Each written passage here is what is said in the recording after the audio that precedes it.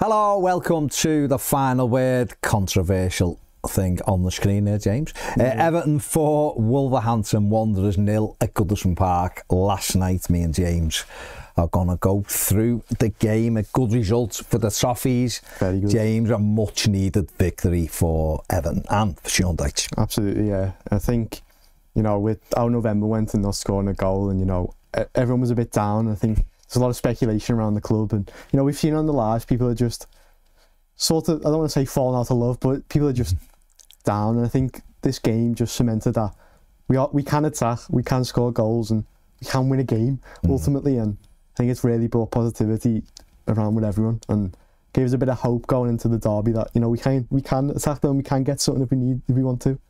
Yeah, I mean the manager he went with a midfield true of Mangala and Ghana. I think mm. that was a good decision. Um, the core he was in, some people debated that whether to have him in the side yeah. or not, but he played the core in the 10 almost. Dwight McNeil was on the left, and obviously Illiman and Jai was out on the right. Um, I thought Everton started quite well, as in with the right intensity. They don't think we played brilliantly, and Wolves were in it as well early on. Mm. But I hmm. thought we started and maintained. A couple of people have, have said, oh, I, I don't think I've really seen any difference. But I did. I thought we were... Mm. Maybe we didn't... Maybe what it was was after 10 minutes when it hadn't worked, we didn't just throw it away like we normally yeah. done. We sort of carried on trying to get on the front foot and there was just a couple of times it was the final ball that was missing, but the intention was there. But I think what I've seen too often is that you start off like sort of on that front foot and after 10 minutes they start just hitting long balls because it's not working and I, I think we mixed it up quite well last night. Yeah, I think you know that first 10 minutes was a bit shaky and I think big props needs to be given to Pickford because he made two really good mm-hmm. saves mm -hmm. where you know Everton's record when we can see first isn't the greatest mm -hmm. so mm-hmm. I think plaudits definitely needs to be given to him that you know he made them crucial saves then obviously that gave us the platform to go and then win the game. Mm. And I think, yeah, I think you're right. I think maybe the final ball wasn't right, but instead of just being disheartened and, you know, sitting back and then allowing them to put the pressure on us, we kept in control of the match. And mm. I think ultimately we got rewarded for that with the first goal. And then obviously from there, we built on top of that. And I think it was a, it was a different feel of Everton. And there was a bit more decisiveness, a bit more impotence on everyone getting up and Impetus. Impetus. Very different than impotent. Yeah, impetus. Impetus. impetus. Yeah. And then, yeah. So I we have been impotent yeah. for the last month, but yeah, not last month. But yeah, yeah, I think you're right. I think there was a bit of a change, and I think it was it was very positive. I think that's what. What did you, what did you make of the first goal? Because obviously um, Wolves weren't happy about it, and I understood where they were coming from. There was a ball through Dominic Calvert-Lewin does really mm. well, gets across his man, is fouled, ever he plays the advantage, the ball runs through to the core. He runs on and smashes it over the bar. I mean, he should have hit the target. Yeah. Blazes it into the, the park end. lies and puts his flag up. And then the referee pulls it back and gives Everton the free kick. And yeah. I think when I've seen that before, more often than not, they give offside. Yeah. And you, you're a bit, you've, you're gone, where was the advantage? But it's gone, whereas he didn't. He give Everton the free kick and Wolves yeah, were fuming over it. And then obviously, mm. it's a bit of a sucker punch for them when uh, the resulting free kick ends up in the back of the net. Yeah, I think it was. It's, definitely an interesting one because, as you said, there has been situations where they gave it. But for me, I think with the linesman now, where they let the ball, the game carry on mm. and then they give offside, I think with that sort of, if he just put his flag up right away, they wouldn't have got the advantage, and mm. then obviously they would have the free kick. So I think it's that rule. It's a bit of a dodgy rule anyway. Mm. I think. But that was our advantage should be, though, wasn't it? Yeah. Really, because Dominic Calvert-Lewin's running through and yeah. fouled, and obviously the Corey blazes it over. But I know, but it, I feel like it's not really an advantage if they know it's offside. If that makes sense. Mm. Like, mm. if nothing can come from the advantage, you're not you're not mm. getting an advantage. Well, listen, Evan had free kick. We can uh, we can have a look. We've got a couple of stills from it. Um, which James is going to work the magic button for here and get them on. Mm. Um, we want the other one first, yeah? You do me in here. Right, so this is the free kick. Obviously from behind the goal. We can see, I've got the arrow there between Lamina and, and the player over who's broken the wall. There's a big, big gap there Very big. for Ashley Young to just bend it through. And you're thinking in that position, I'm sat in my seat thinking, just hit the target, at least, yeah. you know, at least get it on target and see what happens. We take it on and we see Young's hit it And you see, you can see where he's going. He's going through that gap past Lamina. Yeah. Yeah, well, and then obviously we've got the third, got Pickford circle there. Look at Jordan Pickford there, delighted, and Young wheels away in delight. And it was the first free kick, direct free kick scored by an Everton player in the Premier League at Goodison since 2018, December 2018. And Luca Dean scored a free kick in the 96th minute against Watford wow. in a 2-2 draw. I think it was six. That's from my, my, my memory. Andre Gomez did score a direct free kick last season in the FA Cup against Crystal Palace, but in the Premier League at Goodison, that was the first one by an Everton player who was, again, another fullback, uh, Luca Dean, in, in 2018 when Marco was the manager. So it was about time he scored a free kick. Absolutely. Really good from Young, seeing the gap, put it there.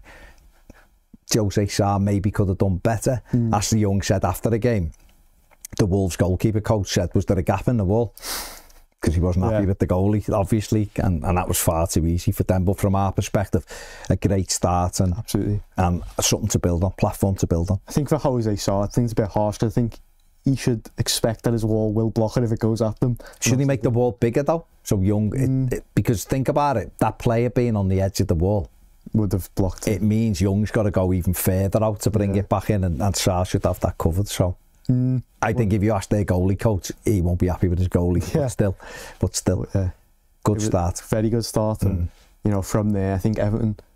You know, I think many times they've been a bit of a victim to they score a goal and then they don't really keep the same pressure or mm. the same sort of tactics, and then they sit back and invite it.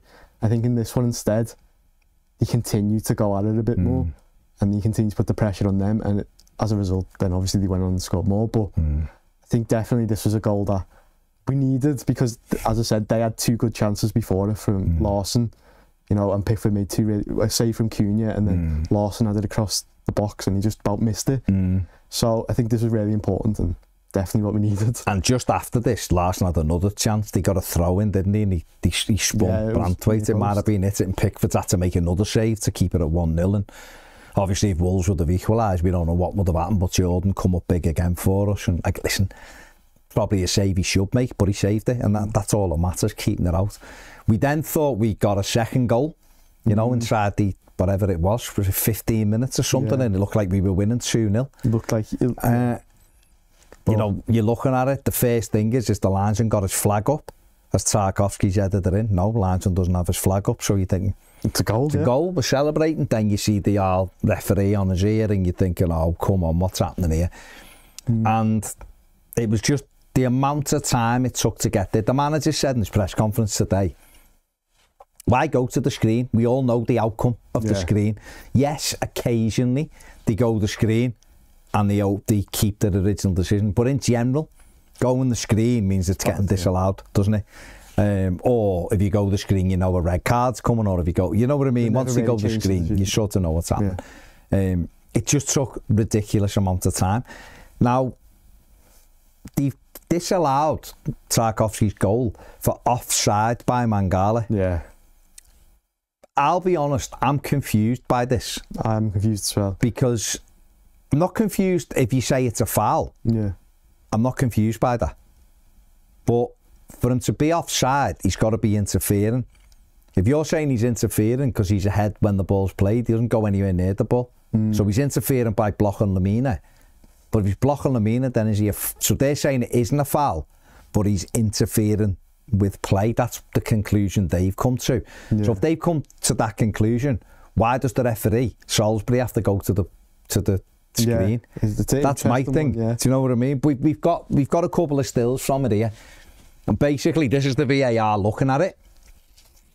You can see quite clearly on that VAR image, Mangala's got his arms around Lamina. Yeah. Now Lamina we, we should have really put the image up before it.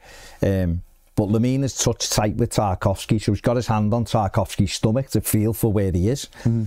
As the ball's kicked, Mangala grabs him, as you can see there.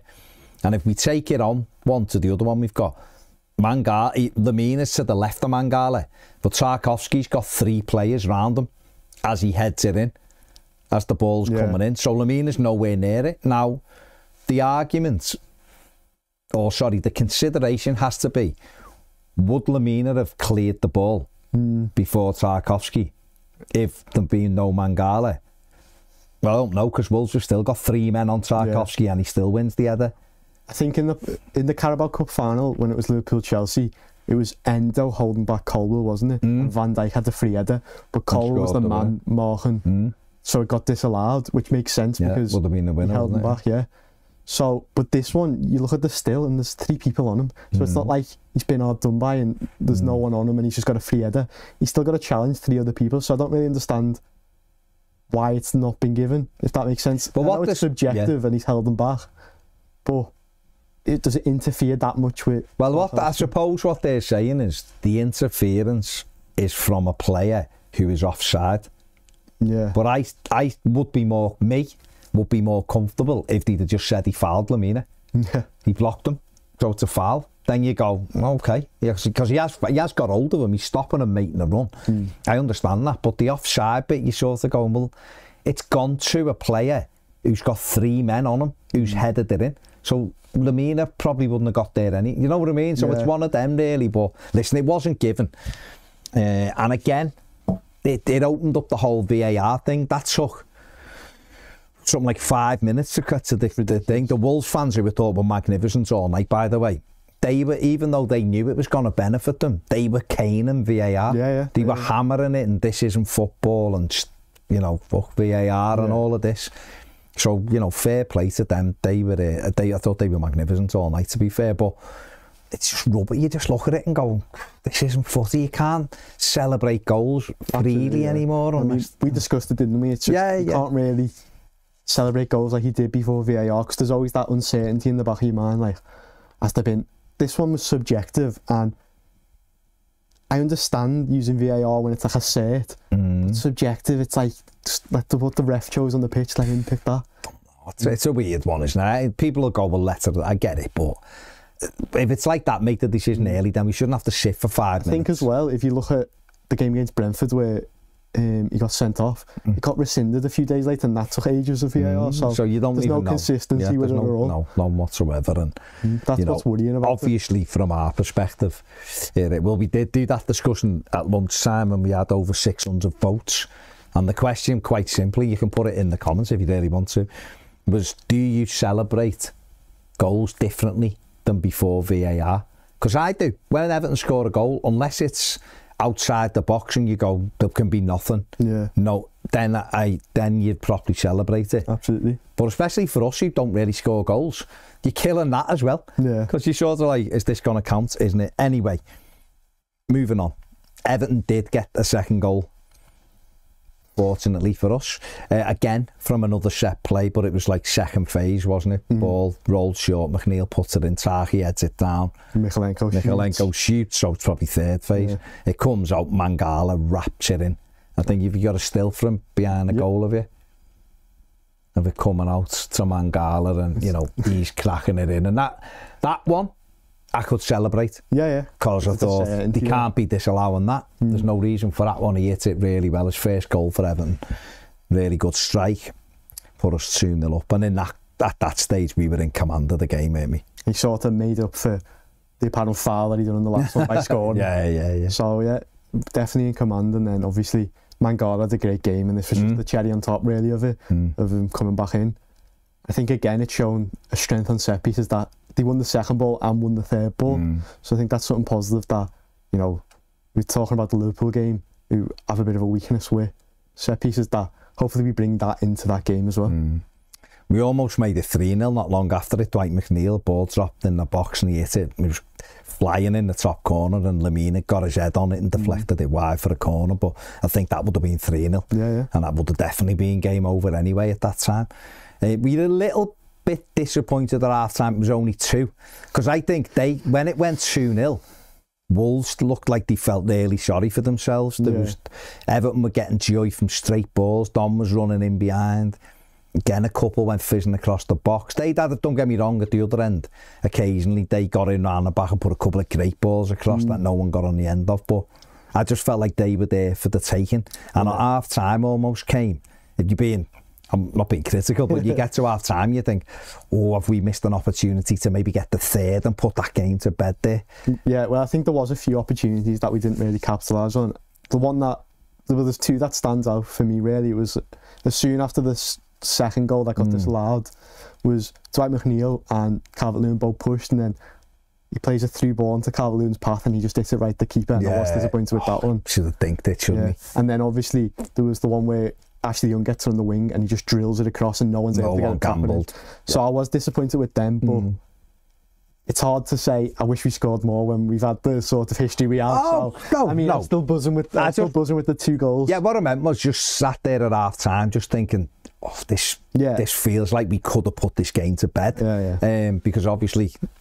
I know it was much earlier in the season, but we were two up against Bournemouth, and and mm. it, started doing that thing that I've seen Everton do before, which yeah, is yeah. miss a good chance and you're like, oh well. like Coleman missed an open goal. Exactly, things like that. Like and then that. you end up looking back going, oh my God, why didn't we kill that game off? Villa away even. Mm. You know, I know it was, there was 2-1 and Dom runs through and yeah. should score and doesn't and it's you know gets caught with the ball under his feet and all of that so you are a little bit wary of that but we come out second half they got a corner immediately mm. and Tarkovsky had to make a really good the corner came in great ball in and he just gets a flick before two of their players are behind him and takes it away. And that sort of was it really for Wolves. Yeah, yeah. They didn't from there. It was, from then yeah. they had one more, which was a side for volley across the goal.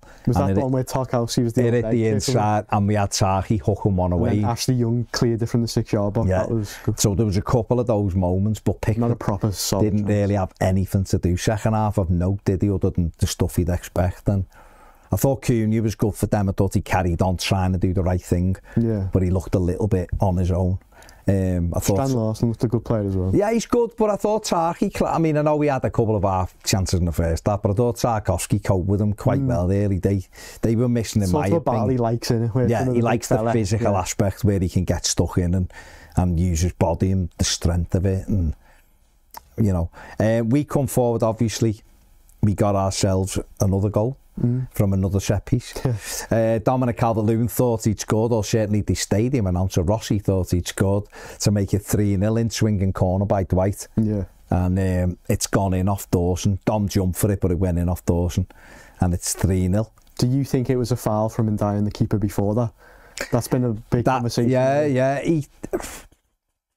he's backing into the goalie. Yeah. And he may definitely be, puts him off a little bit. He maybe puts him off a little bit. You might argue the goalie's got to be stronger. Yeah, because he, he doesn't actually grab him. Up and yeah, he's, he's not exactly the biggest lad. Yeah. He's just in his way, isn't he? And he's sort of off balance, but he should deal with it better. Dawson maybe is a little bit unlucky. I don't know. It's him on sort of the arm and banters yeah. in, doesn't it, for 3 0 and that obviously was game over then and, and you could relax then and think okay uh, these these don't look like they've got anything to come back from this now they look like they yeah. were like I said before they were sort of feeling sorry for themselves and then three almost became four yeah Ashley Young crosses it and Dom mm. jumps with the goalkeeper he drops it and Illiman and Jai knocks it in and thinks he scored but it was a foul yeah it was a foul was by Calvin at first from the front view it just looks like the goalie drops it yeah But when you see the view from behind, Dom actually yeah. like sort of leans on him and, and makes him drop the ball. But then Everton, fair play to them. They just carried on going and, and three did become four. Yeah. And again, another set piece. Uh, Dwight McNeil curls it in and Dom throws himself at it, flicks it on. Yeah, onto Dawson. And it hits Dawson and goes in. Now, they must have got the lines out because he never to follow it. the flight of the ball, I imagine. Because again, the stadium announcer give him the goal. Yeah. I made a very quick judgment in my seat that it was it was an own goal. It wasn't Dom's goal simply because of his reaction at first. Mm. And it's that one. Yeah. he lay like that and he then just he just smiled. put his head into the turf. Mm. And I thought. He doesn't think he scored. He doesn't think he scored. And he got up and everyone was around him. Then uh, everyone Rossi, looked Rossi no. give Dominic Calvert Lewin. And he stood there like that. I'm thinking he's thinking, I've flicked it. Yeah.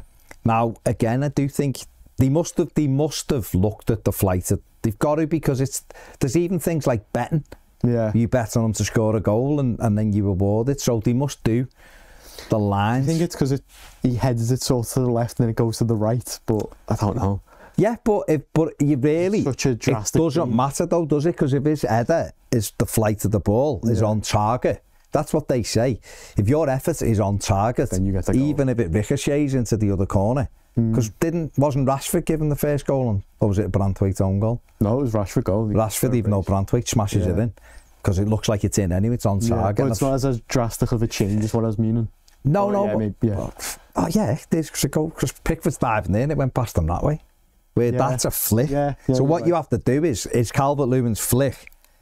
going into the far corner, or is it going mm. past the post. If you, your line of sight is it's past the far post and it hits Dawson and goes in, it's obviously not his goal. But if it's if it might creep in the corner, it's got to be Dom's goal, is not it? But anyway, it wasn't given it, and it meant Craig Dawson was one of Everton's top goal scorers in the Premier League, same amount of goals yeah. as Dom. I think as well though after that goal. I think the rest of the Everton team thought he did score because they all looked really buzzing. yeah, yeah, yeah. And everyone was really like, he finally got his pail type of thing after mm not getting it. But it's very unfortunate that he didn't get it, isn't it? Yeah, yeah. You want him. You would. It'd have been lovely for him to have to have added one of them in and mm. just being like you know. I think it shows his strength though as a striker that he does attack them spaces and it's sort of the pressure he put on them made them uncomfortable. He forced basically two on goals. Yeah, he did. He and did. so I think although he didn't get the goal, I think he's still done really well. It's almost like assists for him, isn't it? Let's yeah. say that. Um, 4 0. Very, very comfortable then. tiny little moan. I get a little bit disappointed with the manager for not. All the mm. coaches as well, not just Sean Dyche, the three of them there, so yeah. they all get equal input. Not putting someone like Nathan Patterson on at that, because there was, was 4-0 after like 67 minutes yeah, or yeah. something, so there was a there was a good amount of time to get Patterson on the pitch. It seems weird, doesn't it, that when we were 4-0 down against Man United, they brought them both on. Mm. But when we're flying and we're 4-0 up, doesn't neither get a chance. You see, I would have put on. I mean, me personally would have put the O'Brien and Patterson on yeah, there. Yeah, that's why got, was thinking, got yeah. a derby coming up at the weekend. Tharky's nursing his way through games. They went, they went scoring four goals.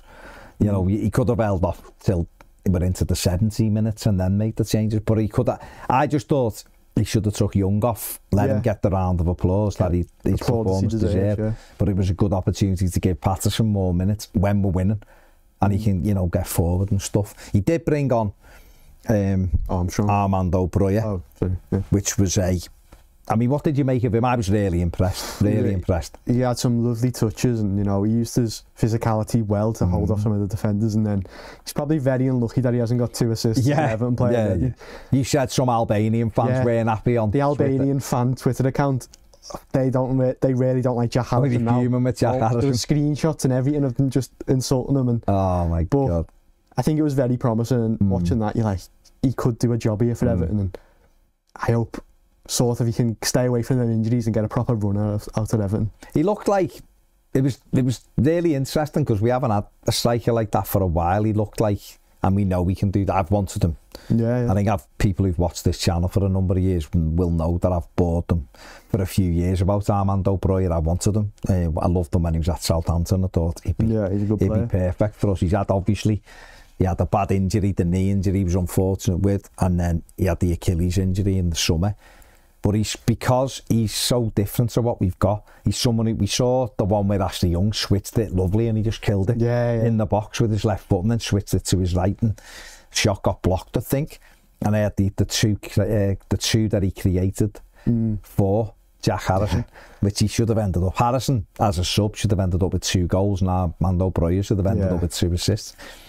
But I'm confident that he can give us something that we haven't got, something different. Yeah, I was going to say, do you think he opens the Everton team up? You know, people have been talking about a 4 4 2. You know, if he can create them type of goals from striker, say he was creating them for either a Beto or a Calvert Lewin, do you think they convert them chances? Because both Harrison chances were the six yard box, if not right by it. And you know, that's where Calvert Lewin's deadly under mm Carlo. So do you think in the future that could be something Sean Dyche would think of as playing them too? I think you can do it. I think even in a 4 4 1 1, I mm. imagine he could sit in the hole almost yeah. as the 10 because he's someone who runs with the ball. Yeah. But I, what I would genuinely like is a real 4 3 3 with Calvert Lewin, Breuer, and Jai. Yeah, yeah. You've... I think them three, I think, could be not obviously he wouldn't play that at Man City away, yeah. you know. But I mean, there'd be like a time and place to play them because I think I've seen him at Southampton. He often played off the left for Southampton. Got eight goals that season in the Premier League, running, cutting in, and finishing. Mm. So yeah, he, he can play as the out and out number nine. But I actually think he's a player who, and we saw that last night, he likes dropping into his pockets, he yeah, likes yeah. pulling wide and getting the ball and running at people and I think he could. Uh, Lovely touch, and he's really good at dribbling, yeah. and he's he's big as well because there was an opportunity where he got it on the right and then he runs to the line, and he's holding them off whilst the rest of the team push yeah. off. Yeah. And then obviously we don't score from it, but it's still just promising that you know in a situation where you want him to hold it up, he can mm. do it. And he's only he's just coming back, isn't he? Mm. You know, he had he's had 221 games. Yeah, yeah. Um, 45 minutes and I 63 think 60 I think or, or, 70 wasn't it? Yeah. Timothy had 60 and then he's in, you know, he's had a little 15 minutes, I think it turned out to be with the stop at time. So it was a promising thing and a, a good option, I think. And obviously, if Evan, if he can stay fit, which we all hope he can, he could. I think he could have a good future. Well, Evan. Dyche done well with getting Calvert-Lewin back to like a good solid mm -hmm. fitness. So hopefully he can have the same effect on Brogan mm -hmm. and we can really build on it. And obviously, Timothy he won't be too far away. Yeah, yeah. He's a little bit behind him, but I don't think he'll be too far away from being back in the squad. And again, that's more options, yeah, isn't it? He had, a good fit, he had a good pre-season. he was probably really unlucky that you know he didn't get the chance to mm. play for us properly at the start of the mm. season. So it's definitely exciting. Yeah, thought Bro had done really well last night. Mm. I think what was key as well last night for me was the midfield too. Yeah. A Trisha Garner Gay and Mangala. I thought Mangala was brilliant. I give him man of the match. Yeah. Um, a gave him give him the platform to play from. Went out and put fires out all over the pitch. I think an issue me and you spoke about in the Man United game was, you know, that first 25 minutes where we looked like we had a bit of a hold mm. in the game, was that the final pass wasn't quality. Mm. And, like, there was a few situations where if the ball was just a bit better, Everton would have had a better mm. chance to score. I think Mangala coming in, he sort of brought that final ball quality and a bit of mm. calmness in the midfield. And I think that was what was pivotal to us playing so well. Well, we've got a stat, haven't we? Let's have a look at Mangala's stats from last night. There you go. 97% passing accuracy. Superb. Uh, one goal. Won three out of seven of his ground deals. Created one chance and had four ball recoveries. And you can see the hot spots there. But what he's, I think what he's really good at is just keeping things ticking over. Mm. You know, like we said, he's a good passer of the ball, 97% passing accuracy shows that there. Yeah. Keeps it ticking over, he's comfortable, likes to take it, can get around a pitch. And when you've got, you know, a dresser who goes and firefights yeah, and yeah. nicks the ball back and, and gets stuck in and all of that, I think it's a good. Right now, while we've got injuries as well to Irabunum and to James Garner, them to me look like the best two we've got. Yeah. I think the Corey can play in there it doesn't take as much care. The mm. core, the core when he's in there is literally just the legs yeah, yeah. to try and get around them, be a nuisance. Where them, them two seem a much better partnership for me to play in there. And again, just like we've been speaking about Armando Breuer and we've been speaking about Yusuf Tumiti, getting them, uh, getting Irabunum fit yeah, yeah. and getting Garner fit will give the manager more options for those central areas as well and really make his job difficult because yeah. there's good players there and you go, who, who does he go with rather than we know what it is. But um, I just thought Mangala was brilliant last night and he deserved his goal made up for him. He's a player who has got better and better. His initial opening couple of performances – Keep a bit like what he was, yeah. Mm, happening here, like you know, he needs to get himself going. But he's for me, he's a player who has got better and better every time he's played, and I think. I think last night was, was the best game he's had for us. Capped it obviously with a goal, mm. but it looked good. That little partnership looked good. Is that mm -hmm. something you think we just need to leave alone for a few weeks now? Yeah, I think when you know it's been to Corey eh, as much as you know I like them both, and I think they are good players. I think they don't really compliment each compliment other. each other well. Mm. They've both got that sort of chaotic element to them. and, you know, the passing isn't great. I know Gay done well last night with his passing, but you know, this is passing higher than you think. Don't no, you know? I know. Not, I don't just mean yeah. you. A lot of people say that gives the ball away and you're going, it's like high 90s every mm. time. Mm. Which but, is like, you know, and last night he was 96% yeah. passing accuracy. But I know what you mean. Yeah, yeah. What a, a Drisha does is he leaves his role because he goes charging around and trying to nick it. And I think what Mangala was very good at last night was just dropping into the little pocket and going, well, go on then. Yeah, I'll sit here for you. Where the core wants to do it. The core wants to go and try and get it back. That's, yeah. He's you know, we've the, the core always reminds you when he's running with the bunny. He done this last night. you know, if you'd ever ran when you're playing footy and your shin pad used to flap because uh, it's like your, yeah. your, socks are down or something. He's like that with the ball. The ball hits every part of his leg. And I'm like, I don't even know how you're doing that. That ball physics doesn't allow that. What's happening? It's like a Tasmanian it, it's the just ball. like the is just like never under control. Yeah. Um, where Mangala's quite silky with the ball, gets it and it's in and it's back and it's comfortable and it's back. Mm. And I think that Driss is much better on the ball than, than that yeah. people think as well. But I think it's the leaving of a position sometimes because you want to put a fire out. Yeah, yeah. Where sometimes he gets he, he can get caught out. Um, I just thought them two complemented each other mm. really well last night. I think you're right saying that you know James Garner and Irabuna are both coming back. So you know Garner is really good at passing, and you know he can help out at like right back and stuff. You know mm. we need to rotate. And Irabunum had a really good start to his Everton career. You know, was progressive with the ball and ran forward with it. Maybe didn't have the fitness, but he definitely shown promise in mm. Everton shirt. He's a young so, player. Yeah, yeah. So he's a young player. So on top of you know Brozier and Schmidt coming back, them two coming back's huge as well. And I think I think it boon him. There'll be times when I think the manager could be thinking about playing him as a number ten. Oh yeah, yeah. Just because of the way he yeah, runs he with he the ball. got the ball well and he'd turn all the Or, time. you know, if you want to go fully technical, a double eight. you know, you've got Mangala sitting and you say to Garner and Irabunum, go on then, Mm. Go and hmm. play, you know, and that would enable him. I actually think McNeil can do a bit of that yeah. as in not just sit off the striker but sit a little bit deeper at times as a midfield, in, as a midfield player but it'd boon him because then you would have you'd have Mangala who's sitting as a DM and he can just keep it going like a metronome a Drissich can put fires out and it'd boon him can travel with the ball because that's yeah. what he's really good at picking it up and just running with the ball through the middle and and again he's, he, Irabuunum's a player who you're almost in the melee of things going wrong. Mm. Like it was, we weren't winning and the frustrations are creeping in. We lost him at a time and he was doing really well. Yeah, yeah. And it was just sort of like, oh, ah, we're booing him, out injured. Because, because the manager had taken him out and he was sub mm. for a couple of games, you yeah. sort of almost forgot about him and forgot what a good job he'd done at the start of the season.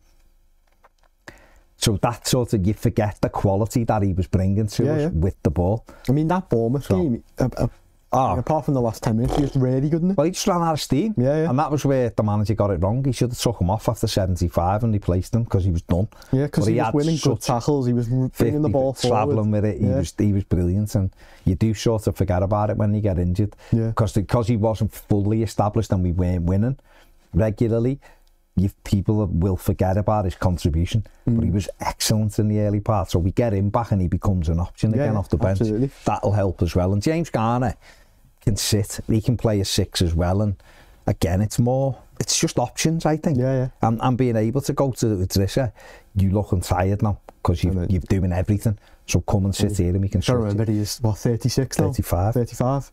So, and he's amazing. to play every game over this mm. Christmas period, but might have to, but when these come back, at least you have another option where, you know, like that Bournemouth game, the last 10 minutes, you can bring someone on mm. like James Garn. Mm. You can sit and as well pass. So, yeah, yeah it's definitely, definitely. positive. Uh, another player I would think deserves a mention was Ashley Young, who I think, barring the United game, has been Everton's best player over the last half a dozen games, like mm, most yeah. consistent. I thought he had a really solid game again last night. Another, you know, obviously scored a goal, which is you would always sort yeah, of going to give them kudos for that. But he, he, was really good. Let's have a look at Ashley Young's numbers. Here we go. Passing accuracy, 79%. Uh, scored one goal. Final third passes, 12 passes in the final third. I wow. think that was the highest number by an Everton player. Um, tackles completed four, and he had 20 defensive actions, which again was up there with the most defensive action clearances, blocks, and stuff like yeah. that. So you could see him down that right hand side. He's he's done really well the last half a dozen games, barring United, like you said yeah. on Sunday. I think people sort of put him down, you know, because because uh, of his age and mm. you know probably myself too. You know, you talk him down because you want that, you know, young exciting talent. But mm. Quinton said young, but um, yeah, yeah. But he's he's been really solid for us and he's created goals. He's been solid at the back and I think you know, when he's had Lindstrom in front of him, Lindstrom's been maybe a bit fearful or he's scared to go into his um, right foot to mm. whip it in. And he has been whipping it in and obviously getting the assists for it. I think once again, it's just another solid performance from him and he's shown that he's got mad genetics, hasn't he? That he can still play this well and this long at near 40. Mm. And yeah, it's it's been really good what seeing him and um, I'm happy that he's doing well. And I think when we were talking before about, you know, she overhead kick and clearance and it, it dropped into the six-yard box and it was actually Young who swooped in mm. and cleared the ball out again. And that was another key moment where... I think the, the thing... I think, that, I think you're absolutely right. I think people look at it and go, me as well, you look at it and go, he's 39, he shouldn't be in hmm. Evans 30. That, but that's just an age thing, isn't it? I think you've got to appreciate how well he's doing at the moment. I think most mm -hmm. people do. Um, and he's a brilliant pro.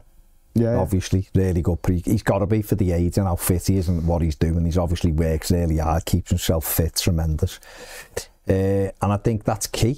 Now, there's different conversation is should we be doubling down on a younger fullback? But right now he's doing really well. Mm. See, for me, it isn't whether Ashley Young plays at the moment. It's where Ashley Young plays. Yeah. I think Mikhailenko, And spoiler, I would play Michalenko on Saturday mm. for the derby because I think up against Mo Salah, he's had a good time. Now, hopefully, that'll continue.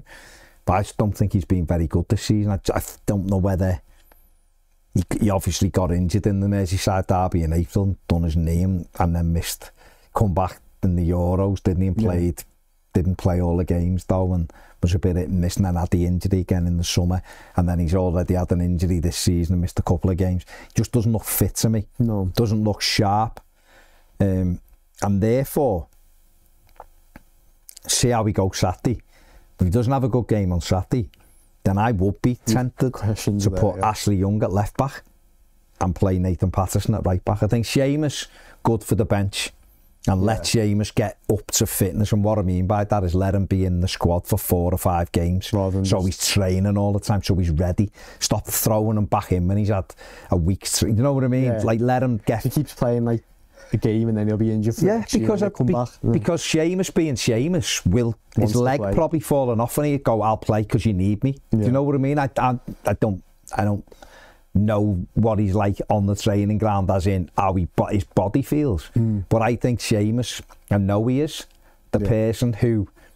his character is he just wants to he'll just well help you even yeah. if he's not right he'll play because he knows the team might need it where I think what we should be doing is if Miko has another below par game mm. then Ashley Young has gone in and done a really good job at left great for Villa at left back yeah. by the way Leicester away this year for us. He got the assist for Njai, split them with one ball. He's done a good job at left back. No, no worries. Get on with it. Yeah. Doesn't go on the outside and whip at him with his left foot. Well, Michalenko doesn't, so we're not yeah. losing that.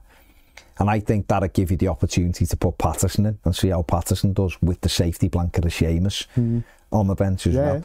And I think that's how because right now Ashley Young deserves to be in. I don't think I don't think anyone could turn around and go drop him at the moment because no, you'd be dropping him for the sake of dropping him.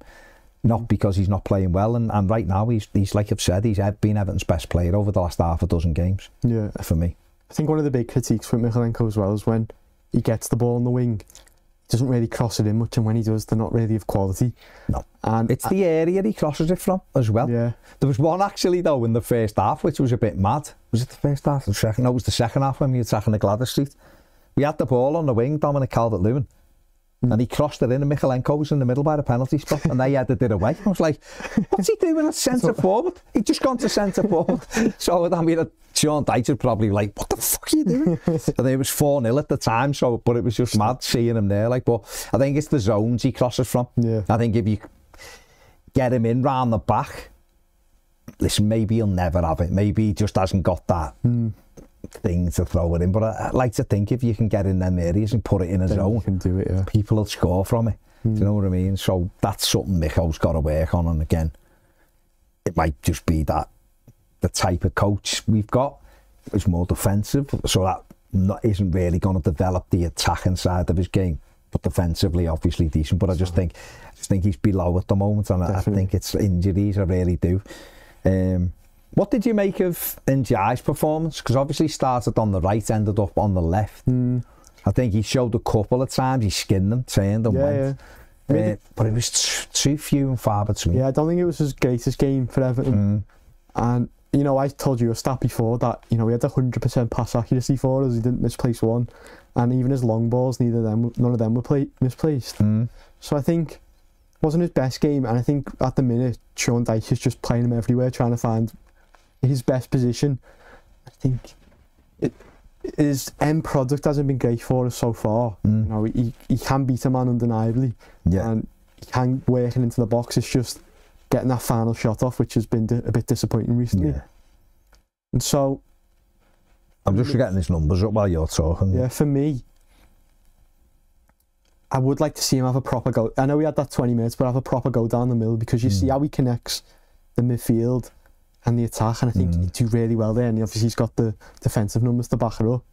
But right now, I don't feel like playing him on the right's doing him any uh, uh, any better than what he was doing on the left.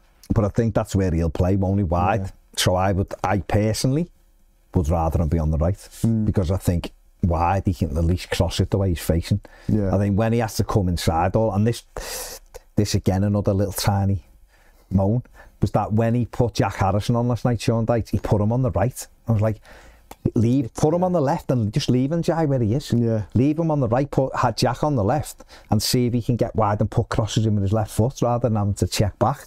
Just, you know what I mean? Yeah, yeah, yeah. Just leave people. I mean, you've spoken about it a lot, haven't you? That Harrison's best numbers were all from the left. Mm -hmm. That's mm-hmm. where he does his best work. Yeah. And sort of he's always been forced out onto the right. Mm -hmm. And I get it if Ndai's main position was being a left winger, but yeah. it's not. So yeah. forcing him into Jack Harrison's strongest position for no real reason. Yeah, it was just try reason. him, just yeah. try him and see, and we might get more or something. Uh, and Jai had one shot from outside the box. You give me the stats, and I, and I just checked it there. He had a hundred percent pass completion mm. and long balls as well, which is incredible.